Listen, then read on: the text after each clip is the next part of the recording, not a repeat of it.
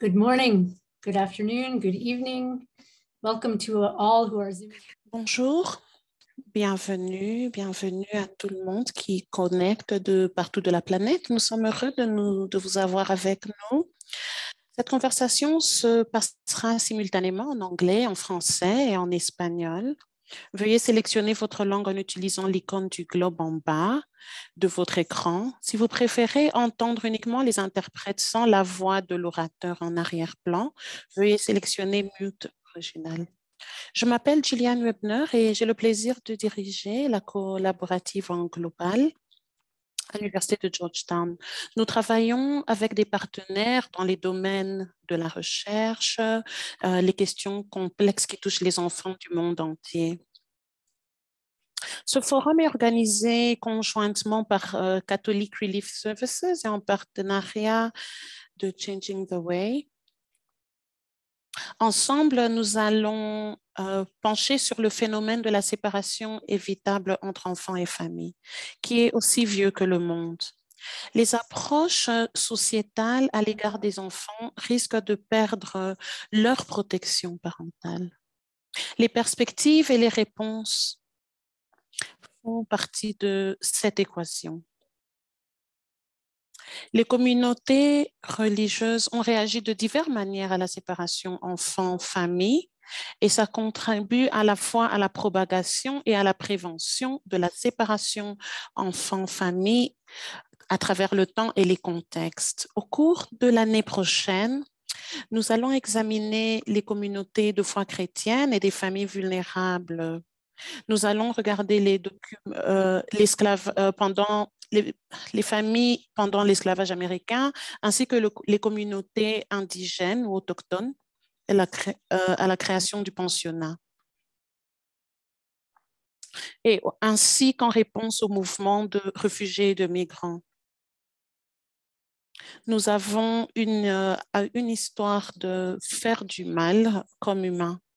Aujourd'hui, nos interlocuteurs exploreront les dimensions théologiques de la séparation enfant-famille. En effet, la foi chrétienne commence avec un enfant vulnérable né d'une mère confrontée à une série de menaces. Et depuis, lors, les communautés de foi chrétienne ont interagi avec des enfants et des familles en situation précaire.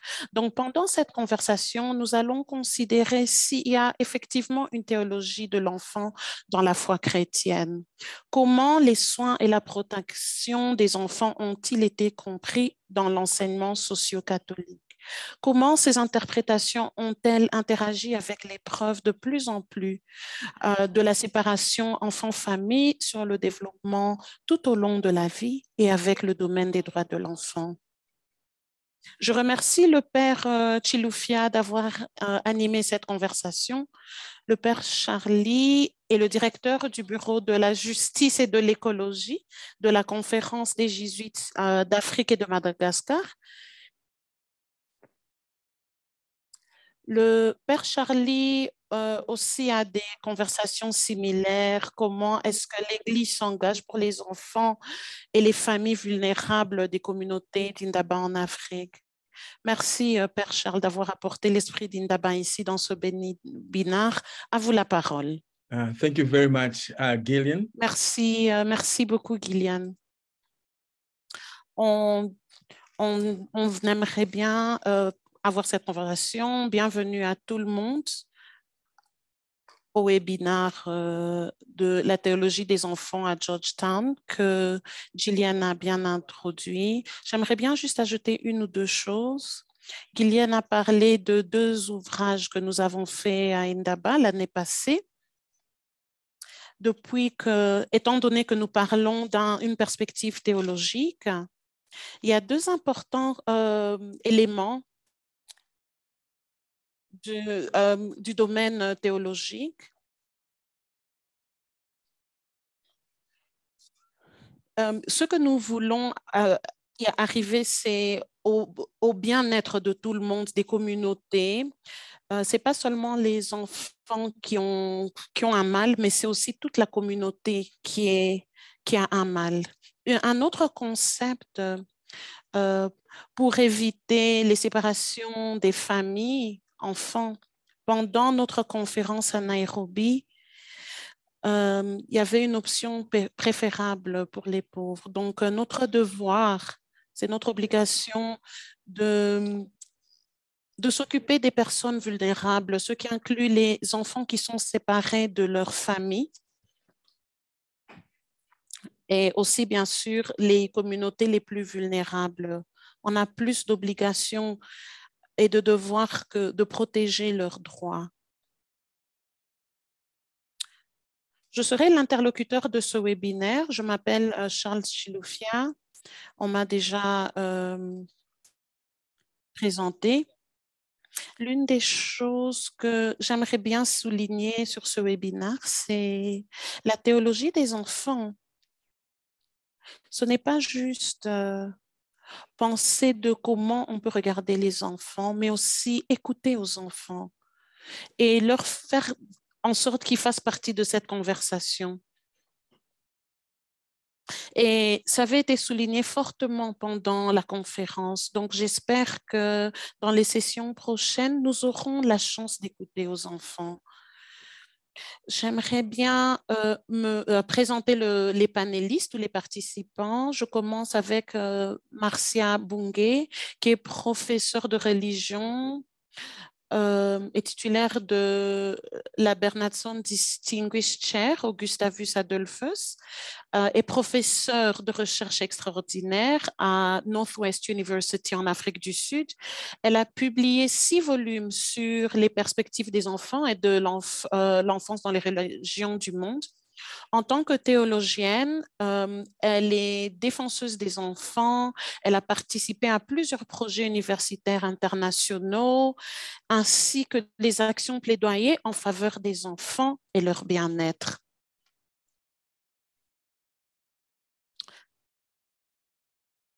Donc, professeur Bunche, où est-ce qu'on peut commencer euh, Comment est-ce que vous pensez que les enfants apparaissent dans les études théologiques et cela a-t-il changé au fil du temps? All right. Thank you. OK, euh, merci. Merci, euh, Père Charlie, et merci euh, tout le monde pour être là aujourd'hui. Je voudrais juste parler, je suis théologienne, j'ai fait des ouvrages à l'Université de Chicago et en Allemagne.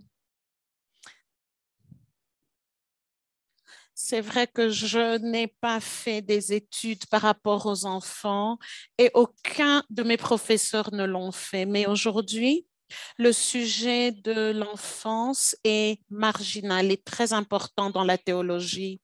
C'est un sujet aussi peut-être pour nos, euh, nos pasteurs, nos personnes qui éduquent dans la théologie. C'est vraiment euh, quelque chose en bas de tout. Quand j'ai commencé à pourquoi est-ce que les théologiens ne s'occupent pas de l'éducation des enfants? Parce qu'ils sont quand même un tiers euh, des, des personnes dans, la, dans le monde et ils souffrent souvent. Et comme les adultes, ils ont beaucoup d'idées et ils sont actifs dans le monde. Et c'est pour ça que la théologie a vraiment changé et elle est devenue un peu moins euh, attentionnée aux adultes, mais plus attentionnée aux enfants. Et dans mes publications, euh, on a trouvé que l'enfance, c'est vraiment euh, très important, ça le démontre dans la Bible et même avec les religieux. C'est vrai que les institutions théologiques dans mon pays et peut-être dans le vôtre considèrent que les enfants, c'est un sujet marginal ou euh, inférieur.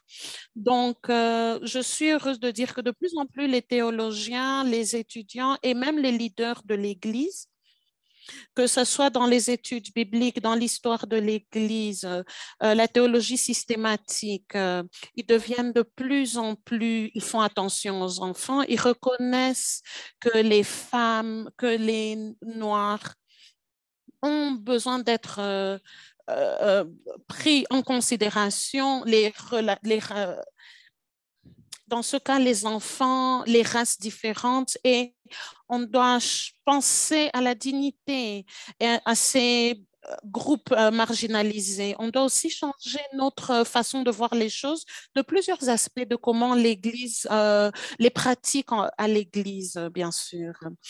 Alors, l'une de,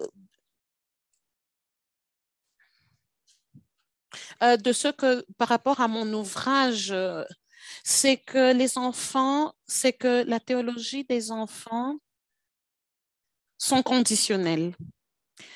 Euh, ça aide aux enfants pour euh, s'en sortir très bien dans la vie.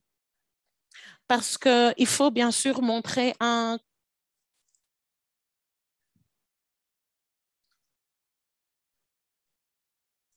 Donc, la théologie des enfants, premièrement, c'est quoi la théologie des enfants exactement? La théologie montre deux questions. Quelles sont mes conceptions des enfants, comment est-ce que je les vois, comment est-ce que j'assume euh, les enfants, euh, c'est quoi mon engagement, mes obligations des enfants? Nos conceptions et notre engagement euh, sont vraiment en relation l'un pour l'autre et surtout avec les cultures différentes. Et quand nous voyons l'histoire de la christianité et dans la communauté aujourd'hui chrétienne, nous avons trouvé deux réponses à toutes ces deux questions. Et c'est, on a trouvé euh, divers euh, théologies pour les enfants. Il n'y en a pas une seule. Euh, juste comme nous voyons des théologies différentes pour les femmes, pour les races différentes. Donc, on a trouvé qu'il y a des, il y a des très grands, robustes, euh, et on a d'autres pas trop, qui soulignent pas trop. Donc, mon troisième point, c'est vrai que les chrétiens dans le temps ont souvent vu les enfants euh,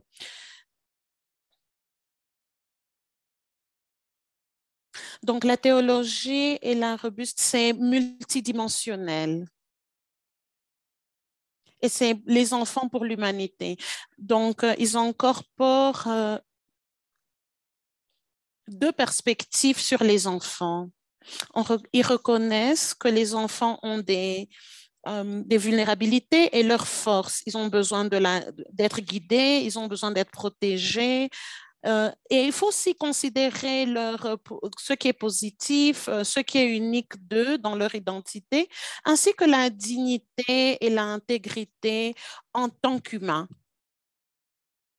Et autant, il y a plusieurs théologies qui nous démontrent que les enfants doivent vraiment être considérés dans l'humanité. Les enfants, c'est vrai qu'on dit on a besoin de les guider, mais ce qui est plutôt, c'est que c'est incorporer d'autres perspectives biblicales. Les enfants ont été faits à l'image de Dieu. Ce sont des enfants humains, c'est des personnes humaines qui ont besoin d'être traitées avec dignité et avec respect. Ce sont des modèles aussi. C'est aussi des modèles pour nous, pas seulement nous pour eux. Ils ont plein d'esprit. Et comme le Père Charlie le disait, nous avons vraiment besoin de les écouter et apprendre des enfants. Donc, pour voir les plusieurs perspectives de la Bible, euh, cette théologie multidimensionnelle a beaucoup de pouvoir et ça nous aide à vouloir faire plus pour les enfants, de les écouter, de faire être plus attentionnés aux enfants. Et il renforce aussi notre théologie à nous. Donc, euh, j'aimerais bien juste euh, vous dire que c'est facile hein, de bouger en dehors du multidimensionnel. C'est vraiment facile de se focaliser juste un ou deux thèmes ou deux dimensions des enfants, les thèmes bibliques, mais notre conception devient de plus en plus petite et elle n'a plus de sens en fait. Et on commence à maltraiter les enfants dans une façon qui fait du mal aux enfants. Comme par exemple, si on croit qu'il faut tout le temps donner des instructions aux enfants alors que nous voulions leur euh, apprendre quelque chose, euh, on peut rater quelque chose alors qu'il faut honorer leurs histoires. Ou si on voit les enfants juste comme des victimes euh, vulnérables, on peut se focaliser juste en les protégeant, mais négliger de les écouter et reconnaître leurs forces. Et comme nous le savons, nous tous, dans tous les contextes, que ce soit l'Église, que ce soit l'école, les sports, si nous les négligeons en tant qu'humains, notre version d'enfant devient d'une seule dimension et euh, nous manquons à quelque chose dans ce comment ils doivent être traités. Euh, et même chez nous, nous-mêmes, souvent, ça peut devenir un abus. Alors, on peut penser à beaucoup d'autres exemples des dangers de ne pas se focaliser sur le, notre vue multidimensionnelle de, des enfants et de penser aux enfants à une seule façon, de la façon dont nous, les adultes, nous voyons. Et pour conclure, j'aimerais bien vous rappeler, bien sûr, présenter quelques questions ici. Je voulais vous euh, rappeler que même si nous tous ici, nous n'avons pas pensé euh, à notre propre théologie envers l'enfance. Nous faisons tous des assumptions de, par rapport à nos devoirs et nos obligations euh, par rapport aux enfants. On le fait tous, malgré qu'on n'y réfléchit pas. Donc, la question pertinente pour nous tous, pour notre institution, pour nos communautés. C'est pas toujours seulement est-ce que nous avons une théologie pour les enfants, est-ce qu'il y en a une qui existe, mais ce qu'on devrait penser, c'est quel genre de théologie envers les enfants, envers le genre d'assomption que nous faisons pour les enfants, nos obligations envers les enfants? C'est vrai que je travaille souvent avec les jeunes et même avec nos enfants, de souvent euh, réfléchir à ça, de se remettre en question de, par rapport à nos pensées, de comment, euh, de ce que sont nos obligations envers les enfants. Donc, j'invite à chacun de nous de continuer à se remettre en question.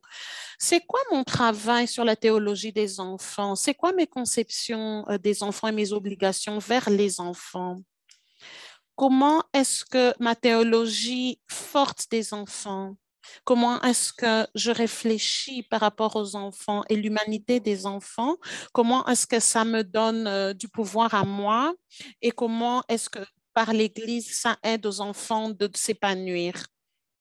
Comme nous avons vu avec la théologie, donc il y a la théologie des Noirs, la théologie de tel, de tel, c'est plusieurs genres de théologie. Ça devient de plus en plus riche, euh, de plus en plus profond. Merci de m'avoir permis de permettre euh, mes idées. Je repasse à Dr. Euh, Père Charlie. Merci. Thank you very much, Professor Marcia. That was very... Merci, professeur Marcia. Uh, ça vraiment un très bon sujet qui, qui ouvre un peu euh, les portes à nous-mêmes, à nous se remettre en question par rapport à la théologie des enfants, nos assumptions. Ça nous donne vraiment de quoi réfléchir euh, et de comment avancer par rapport à cette conversation dans la vie. Donc, docteur euh, évêque Louis Solfa,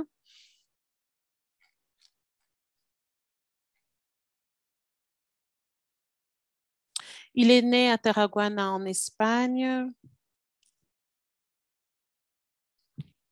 en 1968, a, a été devenu prêtre en 1973.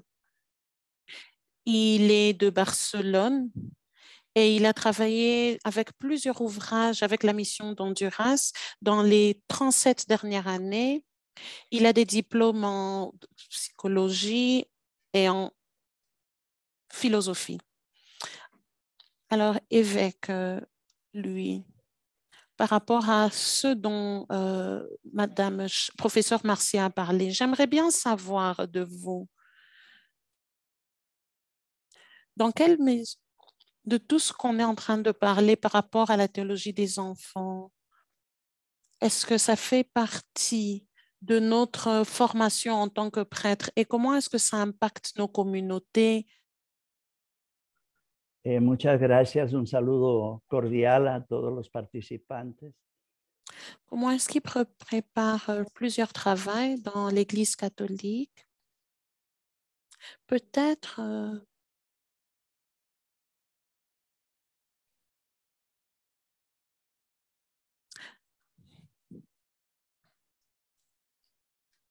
formations à Rome?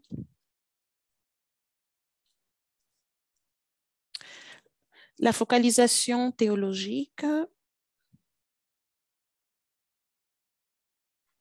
par rapport à la théologie pour les enfants.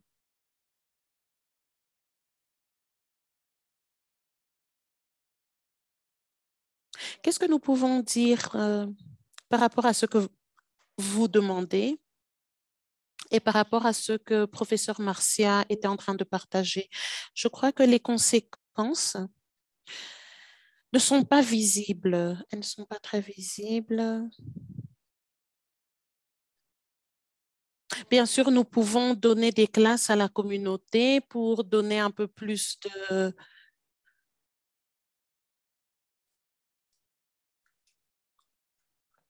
de sensibilisation de la communauté.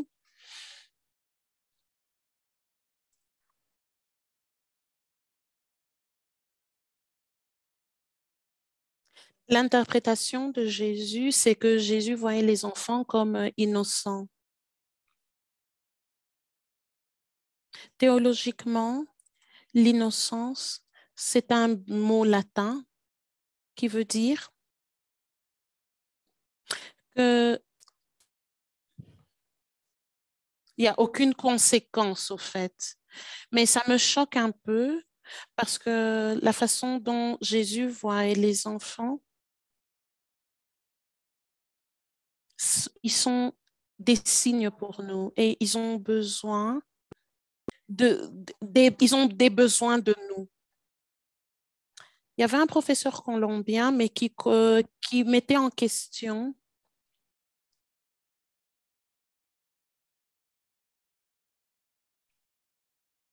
Qu'est-ce que tu veux devenir quand tu es un enfant? Qu'est-ce que... C'est de ça que Jésus demande de nous, d'être des enfants pour comprendre. On est vraiment loin de cela dans nos séminaires euh, et dans, dans nos formations.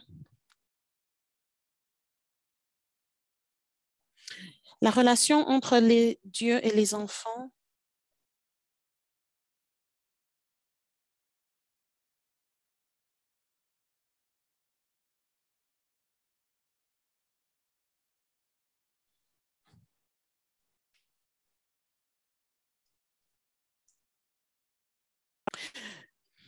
que Jésus voit dans la petitesse de l'enfant et dans les enseignements que Jésus a fait, qu'il trouve que dans un enfant, il grandisse et euh, dans l'enfant, il trouve la force et la croissance, au fait. Euh, au fait, ce qu'il voulait dire, c'est que quand on est un enfant et innocent, ça veut dire juste euh, que nous sommes forts et nous sommes innocents. Et c'est pour ça qu'ils grandissent comme comme une graine qui devient un arbre. Je ne sais pas si, euh, Père, vous avez une autre question.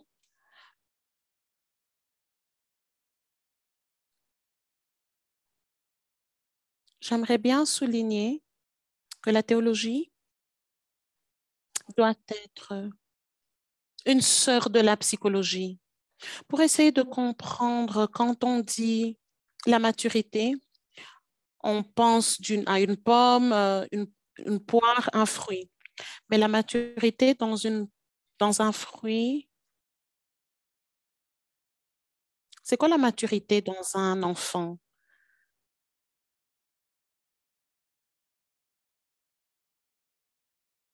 C'est quoi la maturité d'un adolescent avant qu'il devienne adulte? C'est d'être vivant, de créer de l'amour,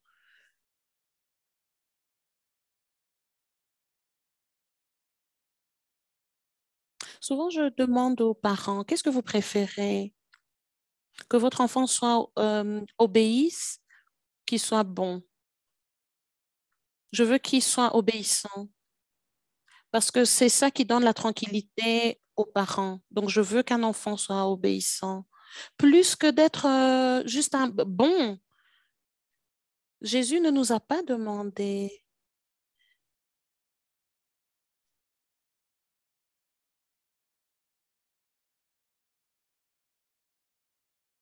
Il nous a demandé d'être comme euh, Dieu, d'être comme lui, pas nécessairement seulement obéissant. Quand les enfants sont dans une institution, ils vont mettre en valeur s'ils sont obéissants parce qu'ils sont plus euh, intéressés de voir un enfant obéissant qu'un enfant bon dans les homes. Quand vous disiez au début que l'option pour les pauvres, une option pour les enfants, pour les faibles, pour ceux qui souffrent dans les familles, je crois que on devrait vraiment prendre ça en considération. Sinon, ça ne va pas changer dans les communautés.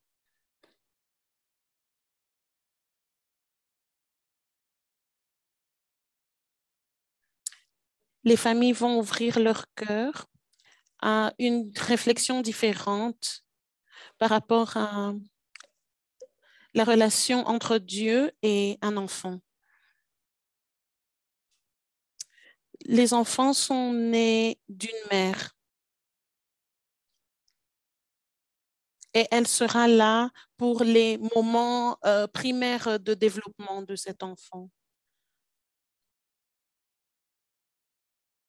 Et pourquoi ne pas dire que c'est la maman qui représente le Christ et que peut-être euh, le papa aussi représente le Christ?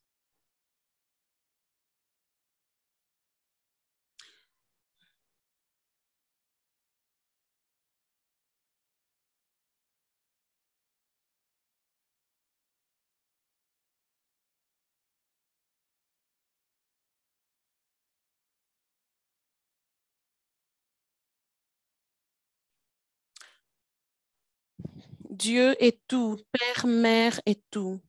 Et les enfants, euh, c'est vrai qu'ils sont plus rapprochés de leur maman. Et l'Église, au fait, c'est comme le papa.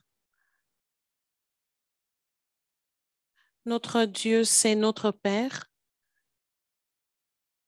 Nous pouvons dire que la religion, c'est une théologie du Père il y a une pauvreté dans l'introduction catholique quand nous n'avons pas une complète euh, entrevue entre les parents et les enfants. Dans notre théologie, c'est la partie qui souffre le plus. Et je trouve que vous remplissez ce, ce, ce qui manque au fait dans le catholicisme. Thank you very much, uh, Bishop. That was very, very loaded. Merci, merci, euh, évêque. En tout cas, j'espère qu'on aura du temps pour discuter par rapport à cela et, et voir comment est-ce que ça marche dans nos communautés effectivement, c'est la sœur euh, Patricia, c'est de ça dont elle voulait nous parler. Elle voulait nous montrer de comment cette conversation affecte les communautés. Euh, j'aimerais bien vous présenter Sœur Noëlla. Elle est professeure à Mariteux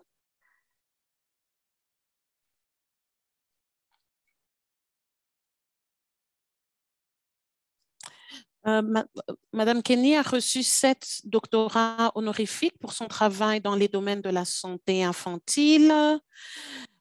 Euh, ses recherches portent sur les abus commis par les clergés, euh, le renouvellement de la santé publique et l'appel du pape François à la synodalité. Sœur Kenny, qui est intimement impliqué dans les risques liés à l'absence d'une théologie attentive aux enfants? Comment les enfants sont-ils euh, lésés ou blessés lorsque les communautés de foi chrétiennes ne tiennent pas compte des besoins des vulnérabilités et des dons uniques des enfants? Merci, euh, Père euh, Charlie. Merci à tout le monde qui participe aujourd'hui. C'est incroyable et nous sommes très reconnaissants de ce que Georgetown a de ce focus euh, intentionné pour les enfants, leur vulnérabilité, le développement et le développement, la résilience, euh, de développer euh, entièrement. J'aimerais dire cela euh, parce que j'ai, il y a tellement de choses qui ont été dites. Et surtout, il y, a, il y a trois grands commentaires que je veux souligner. Je suis une euh, religieuse de charité qui est pédiatre. Toute ma vie a eu à voir avec les enfants qui étaient hospitalisés ou très fortement malades ou mourants et abusés. Et après avoir eu cette expérience, j'ai eu à devenir, à apprendre et à être humble par cette expérience en reconnaissant la spiritualité des enfants et reconnaître euh, des façons à lesquelles cette vie spirituelle, de voir les enfants comme enfants, c'est unique. De la façon de savoir en tant qu'enfant est unique. Alors, en ayant fait faire cela, euh, les problèmes de vulnérabilité sont devenus pour moi un focus particulier. Les participants ont besoin de savoir. J'ai travaillé dans des endroits où il y avait de l'abus des enfants dans l'église. J'étais pédiatre de Saint John. Par rapport aux explosions, quand il y a eu euh, des abus sexuels sont devenus de plus en plus publics euh, en Amérique du Nord. 1988. Et depuis, j'ai eu à m'occuper de ces problèmes à cause de la façon, de les effets et le mal qui a été fait à ces victimes qui ont survécu, mais aussi à leurs familles, de leur communauté. Alors, comprendre euh, comment les enfants sont, ont fait du mal aux enfants d'une façon spirituelle et en même temps, euh, quand je m'occupais d'eux cliniquement, j'ai commencé à comprendre. Et l'évêque, lui, l'a dit aussi, la vulnérabilité des enfants dans l'enfance est nécessaire pour le développement moral. La sensibilité morale a besoin de la vulnérabilité. La vulnérabilité ne doit pas nécessairement être négative.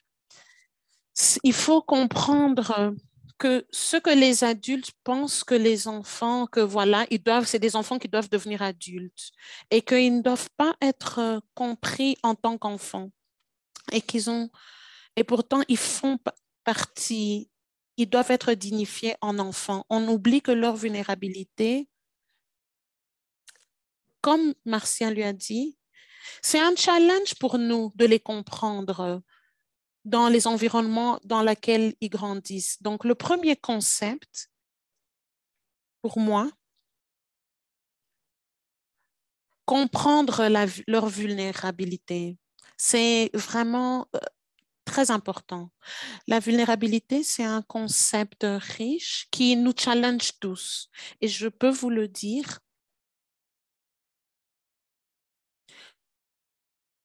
sur la pandémie, par exemple, qui a augmenté. Nous sommes tous vulnérables, oui. Et la pandémie a aggravé l'abus. Ça a aggravé les séparations des familles.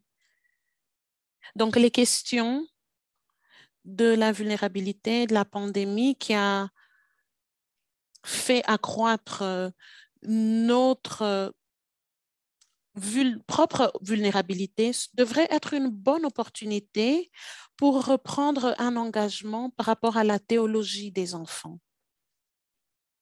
Alors, nous, nous devons vraiment faire attention, attentionner à la théologie des enfants parce que surtout la théologie qui traumatise. Quand vous êtes dans une situation euh, traumatisante, quel genre de conséquences euh, spirituelles existent? Parce que c'est extraordinaire euh, de comment ça fait du mal aux enfants. C'est pas seulement physique, euh, émotionnellement, c'est aussi spirituel. C'est euh, une blessure de morale. Ce que j'aimerais bien aussi souligner dans une minute ou deux, j'aimerais bien parler par rapport à l'importance de pouvoir comprendre les enfants. Je n'ai jamais été mère. Et, mais j'écoute de tout ce que les mamans disent dans ce sens. Les questions de la connexion et les attachements humains devra être importantes, surtout quand on parle de la séparation, de séparer les enfants de leurs protecteurs, des personnes qu'ils aiment, de leurs sources, de personnes qui les nourrissent.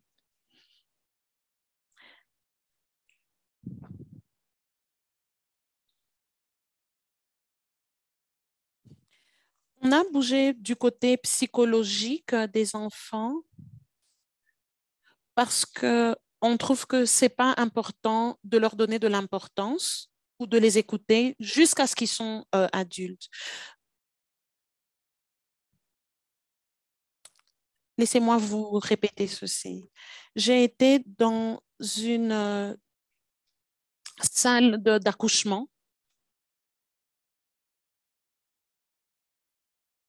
Ce qui est réel, la façon dont on doit couper le nombril du bébé de sa maman, ça nous devrait nous donner une idée de quel genre de connexion existe.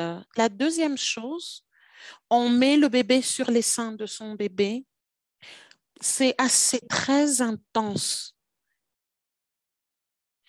pour qu'il y ait une connexion de maman et bébé. C'est une connexion qui est entre les trois et les quatrièmes premiers jours de la vie et pour le reste du développement de l'enfant. Ça établit, les enfants établissent comment apprendre et connaître leur maman.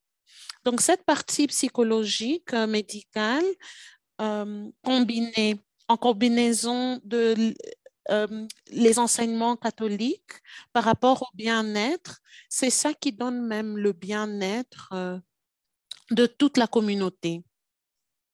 Et il y a aussi cette question, pensez à la pandémie avec tous les petits enfants qui ne voyaient pas de sourire à cause des masques, alors que l'importance de l'interaction, on doit parler à un enfant et on doit lui faire coucou, ça va. On le fait parce que les enfants, avant de parler, ont une interaction avec nous par rapport à la façon de, que notre corps euh, bouge.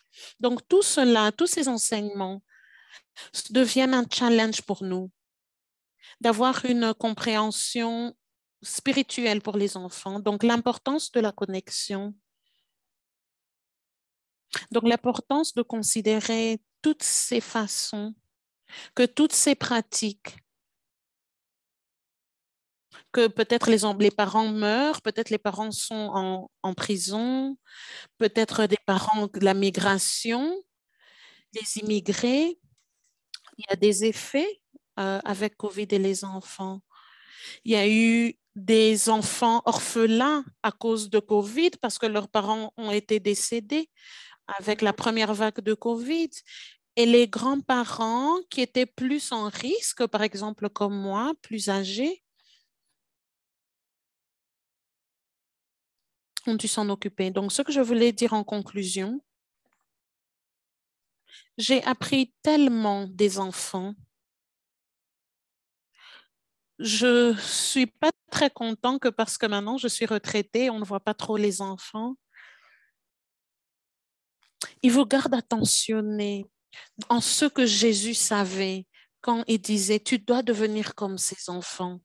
Rappelez-vous, il est venu chez nous, enfant, en tant que bébé, un enfant est né. Alors, on doit vraiment travailler durement sur la théologie des enfants. Pas seulement de comment pouvoir respecter bien et donner cette dignité, mais de promouvoir la résilience et avoir des effets. Parce qu'on doit vraiment, on, a, on devra euh, subir et voir les conséquences euh, religieuses à cause de ce que cette pandémie a créé. Euh, surtout avec l'abus des enfants. Thank you very much, uh, Sister Kay. Merci, merci, Sœur Kenny. Vous avez souligné vraiment des points très importants. Surtout les concepts clés qui ne viennent pas nécessairement de la théologie, mais qui devraient aider dans la théologie, étant donné comme l'évêque l'a souligné. C'est vrai que la théologie, c'est plus dans la discipline. Et vous avez dit que non, il y a aussi cette vulnérabilité dans le sens physique, physique dans le sens spirituel. Et aussi qu'il y a des enfants qui, qui sont traumatisés, qui sont blessés. Ce sont des concepts euh, que la psychologie pourrait aider pour euh, articuler ou la théologie. Et un autre point que vous avez dit dans les vulnérabilités, les traumatismes que les enfants ont, devrait nous, nous pousser à vraiment prendre soin des enfants. Ça nous prépare de, de faire appel au docteur, au, évêque Jean Massingué, il est un jésuite, titulaire d'un doctorat en psychologie clinique et maîtrise en conseil en santé mentale. Il est professeur euh, à l'Institut jésuite de théologie d'Abidjan, en Côte d'Ivoire. Euh, Père Messangué euh, également dirige un centre de conseil et un département de recherche. Il continue à développer des programmes de formation, euh, par rapport aux soins pastoraux, au conseil et à la psychothérapie. Et pensons à tout ça par rapport à la vulnérabilité des enfants. Euh, Père comment est-ce que vous voyez euh, par rapport à, à la pratique pastorale et comment s'occuper des enfants?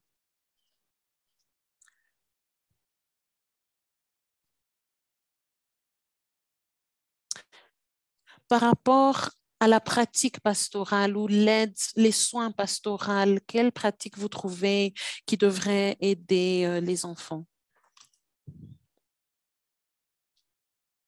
Merci beaucoup, Père euh, Charles Chiloufa. Je voudrais commencer par remercier de tout cœur les organisateurs de ce panel qui nous invitent à réfléchir sur une préoccupation mondiale mais surtout au sein de l'Église universelle. En ce moment même, je fais une expérience euh, assez pénible dans ma pratique. Je suis en train d'apporter du soutien psychothérapeutique à trois jeunes filles qui sont adolescentes. Une à 16 ans, et les deux autres qui sont des sœurs, une à 23 ans et l'une à 21 ans. Ce que ces trois jeunes filles ont de commun, c'est qu'elles ont été sexuellement abusées pendant plusieurs années par leur papa. Les deux sont des sœurs. Leur maman a divorcé pour des causes de violence et le papa a réussi à obtenir la garde des enfants et ces deux filles ont été sexuellement détruites pendant plusieurs années. Et les, deux mères, donc les deux mamans de ces filles, euh, sont en train de faire une même expérience. Elles portent plainte, elles vont à la police. Les, époux bien placés arrivent à faire à ce que le dossier ne va pas loin. Et deuxièmement, toute la grande famille se lève contre ces femmes parce qu'elles sont allées porter plainte contre leur mari ou leur ex-mari pour avoir abusé sexuellement des enfants. Elles sont accusées d'exposer la famille. Elles sont accusées de détruire la famille. Voilà un peu le, le monde, le paradoxe dans lequel nous vivons.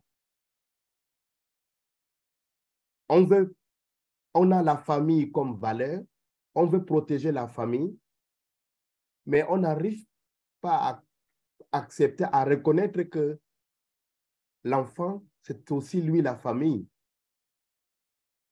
Mais l'enfant est considéré comme la personne qu'on peut sacrifier pour protéger la famille. Pourtant, nous, on sait aussi que l'avenir de la famille se trouve chez les enfants.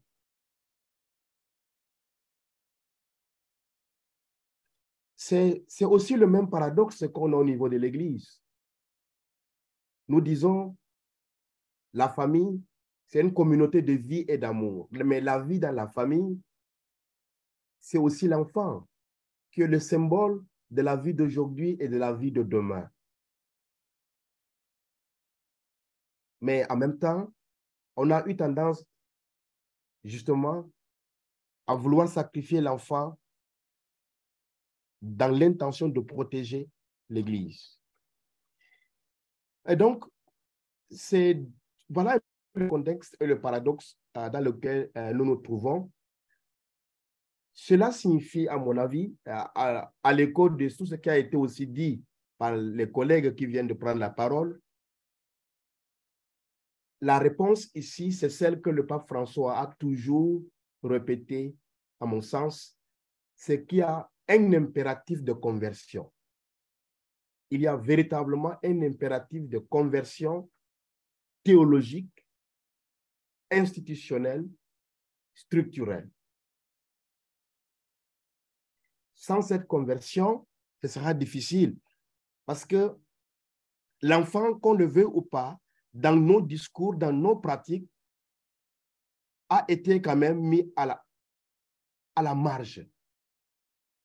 Chez nous, dans plusieurs cultures en Afrique, quand on dit c'est un enfant, on veut dire c'est pas un avis à considérer vraiment.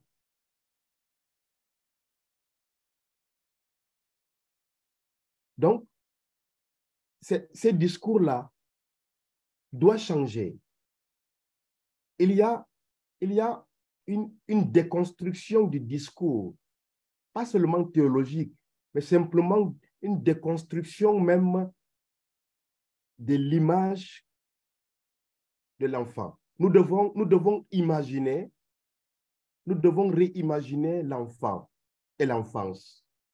Ce que l'enfant signifie, ce que l'enfance signifie, doit être reconstruit à partir d'un nouveau discours culturel, social et théologique. Et cela va passer par justement la promotion des, des conversations comme celles que nous sommes en train de voir. Il faut de nouvelles conversations. Il faut de nouveaux espaces de conversation pour construire de nouveaux discours et un nouveau monde pour l'enfant. Pour que l'enfant soit respecté dans sa différence, mais en tant qu'une personne qui a une perspective à part entière, qui mérite d'être considérée et d'être respectée. Et donc, je pense que les, nos centres de formation, d'abord, avant de parler de la pratique, parlons d'abord de la formation des agents pastoraux. Parce que la manière dont nous pratiquons dépend de la manière dont nous avons été préparés. Quel est le discours théologique qui sous-tend la préparation à la pastorale ou au ministère? Quelle est la théologie qui domine ou qui, ah, dans lequel nous nous formons nos futurs agents pastoraux, nos futurs prêtres? Je pense que ah, tout doit commencer par là. Et dans le livre publié par le JICAM, Culture of Self-Guiding in Church and Society, j'ai publié un article intitulé Theological Education to Embody a Culture of Protection and Self-Guiding of Life. Et là, pour proposer justement le projet de la conversion théologique et de la conversion de l'éducation théologique pour les séminaristes et donc tous les prêtres et agents pastoraux, j'ai proposé trois paradigmes. Trois paradigmes pour, construire une nouvelle théologie avec une autre dynamique. Donc, le premier paradigme, c'est l'empathie. Le deuxième paradigme, c'est la vulnérabilité. Et le troisième paradigme, c'est la responsabilité relationnelle. Donc, voilà, je pense, un nouveau discours théologique ou du moins des paradigmes qui, doit, qui doivent aider à construire un autre cadre théologique pour former de nouveaux agents pastoraux capables d'une grande sensibilité à la vie, à la vie, mais surtout la vie des personnes vulnérables comme les enfants. Alors, je parlais de l'empathie. Je, l'idée à laquelle je suis arrivé, c'est que j'ai l'impression que pour abuser des enfants, pour abuser des, personnes vulnérables, il faut tuer en soi la sensibilité. Une personne qui vit avec empathie et se rend faible, elle aura du mal à torturer les petits-enfants. Et donc, je me, dis, notre éducation théologique a dit il faut développer un discours théologique sur l'empathie pour que nos agents pastoraux soient marqués de l'empathie dans leur manière de faire. L'empathie rend faible à faire le mal. Celui qui fait le mal, en général, manque d'empathie. Deuxièmement, il y a la vulnérabilité comme, comme paradigme théologique. Alors, ici, je distingue deux dimensions de, de la vulnérabilité. Il y a la vulnérabilité comme marque divine et la vulnérabilité qui est causée par la main humaine. Donc, deux, il y a ce que j'appelle uh, God-made vulnerability. Ça, c'est le fait que nous sommes créés comme des personnes vulnérables. Et donc, être à l'image de Dieu, c'est porter en soi la marque de cette vulnérabilité, comme l'enfant, comme le petit Jésus. Mais la vulnérabilité qui symbolise la marque divine, c'est la vulnérabilité qui nous rappelle que nous avons besoin les uns des autres. Nous avons besoin des autres. L'autre a besoin de nous. L'autre a besoin de notre soin. Cette vulnérabilité, c'est celle que Dieu a voulu. Et c'est celle qui nous, interpelle et qui font que nous sommes interdépendants, nous avons besoin les uns des autres. L'enfant nous rappelle cette vulnérabilité. Et c'est un, un, paradigme très peu développé en théologie. Et donc, souvent, nous, pensons que vulnérabilité signifie faiblesse. Oui, mais pas faiblesse dans le mauvais sens. Non, faiblesse dans le sens où on a besoin de l'autre, on a besoin de Dieu, on a besoin de l'amour des autres, l'autre a besoin de notre amour, de notre attention, de notre soin. Maintenant, il y a la vulnérabilité qui est causée par la main humaine. Ça, c'est cette vulnérabilité que nous devons combattre. La vulnérabilité qui vient du mal, causée par la main humaine. Vous qui faites le mal, éloignez-vous de moi, disait Jésus. Ensuite, il y a la responsabilité relationnelle. Nous devons tous nous sentir responsables, responsables de la nouvelle société, du nouveau monde que nous voulons créer et de la place que nous voulons accorder aux enfants. Une place centrale, une place centrale pour qu'eux aussi aient leur voix et leur perspective pour venir enrichir une église en marche où toutes les voix sont respectées. Et cette perspective doit être interdisciplinaire. La théologie qui doit se développer en mettant l'enfant au centre doit être interdisciplinaire. On a besoin de psychologues qui vont mieux nous aider à comprendre les enfants. On a besoin de sociologues, on a besoin des éducateurs. Donc, ce sera une théologie interdisciplinaire. Et maintenant, à partir de là, ceux qui sont formés dans cette théologie, si elle est faite dans une perspective de transformation, pas une théologie qui reste comme discours théorique, mais plutôt une théologie qui devient une spiritualité, c'est-à-dire qui transforme notre vie, notre vision et notre vie ensemble. C'est dans ce sens que on peut voir les agents pastoraux être capables d'accepter les bonnes pratiques qu'on va leur proposer. Je m'arrête là.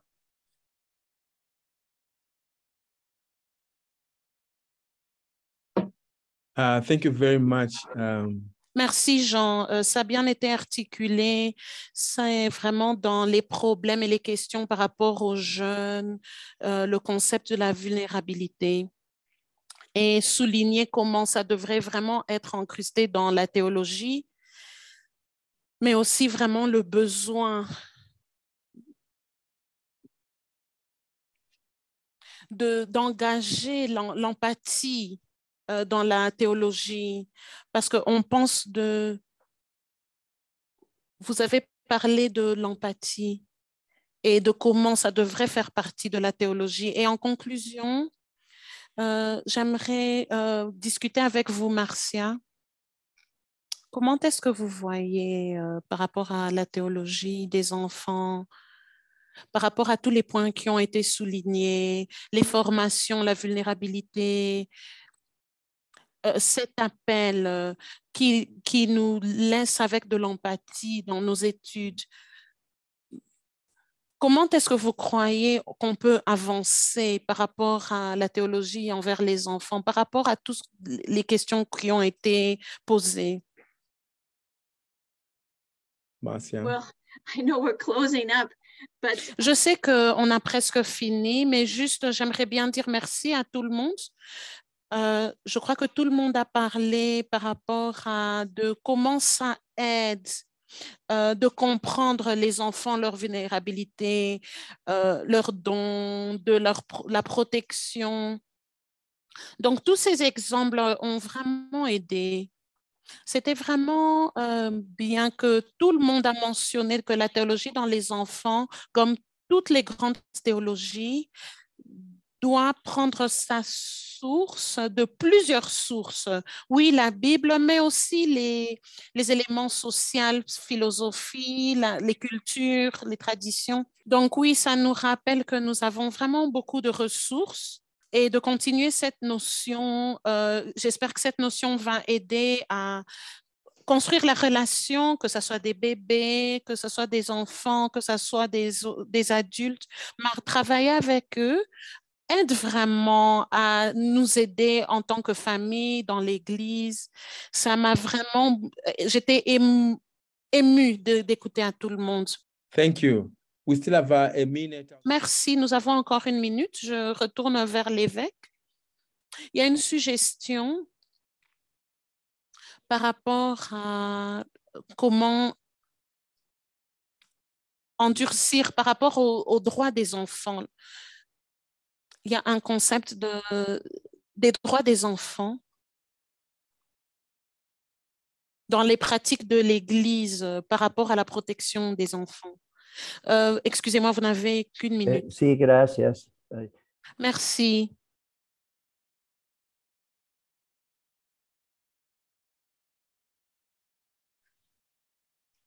De la liste,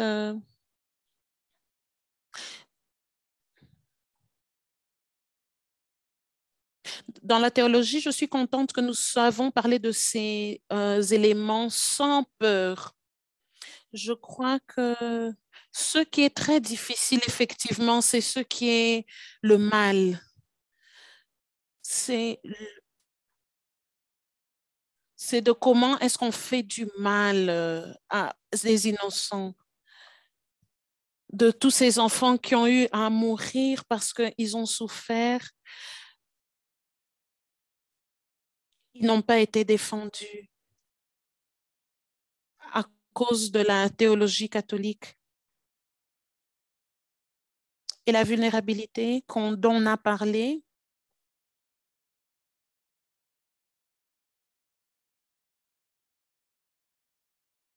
la vulnérabilité surtout parce que les enfants ont souffert, les enfants vulnérables à cause de la théologie qui n'a pas été euh, affermie dans la formation.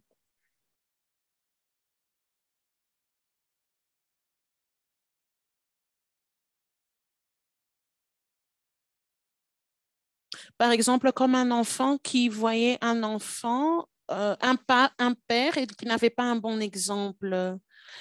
Et je crois que la théologie doit pouvoir voir dans ce que la famille a besoin dans la vie de cet enfant, dans cette famille.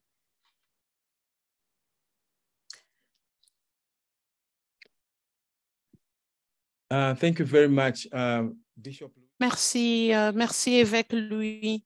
Je crois qu'on va conclure ici euh, par rapport à ce qu'on souligne par rapport à la famille. A tellement des éléments que nous pouvons discuter, l'empathie, nourrir, euh, prendre soin des enfants, le contexte de la famille qui est euh, le point de ce webinaire et de cette série de webinaires.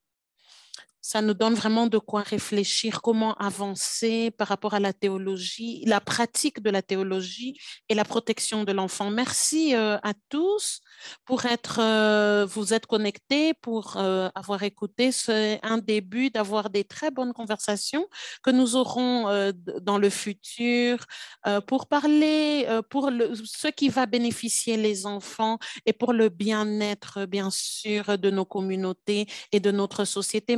Merci à tous et que Dieu vous bénisse.